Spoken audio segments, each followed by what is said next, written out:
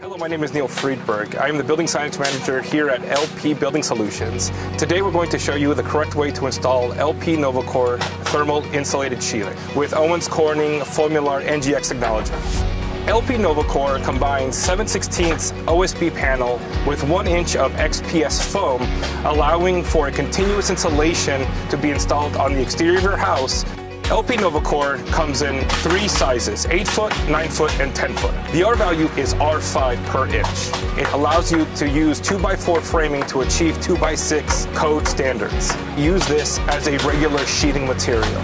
It's easier to use than applying two separate layers. You can drill, cut, and nail just like OSB. It is installed with the OSB facing the exterior, the insulation facing the interior. An approved WRB must be installed over the OSB as a regular sheathing product. This can be installed vertically or horizontally, allowing blocking or sleepers to be at the edge of the board for proper nailing.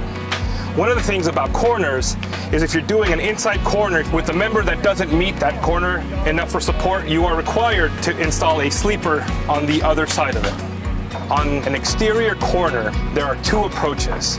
One, you can overlap the foam to the external sheathing material, or you can cut out the thickness of foam and overlap with an OSB. This allows you to determine what is best for the builder and how to best attach the facade on the building. When installing LP NovaCore for structural purposes, all panel edges should be blocked and nailed appropriately and should be fastened with the foam to the stud the OSB to the exterior.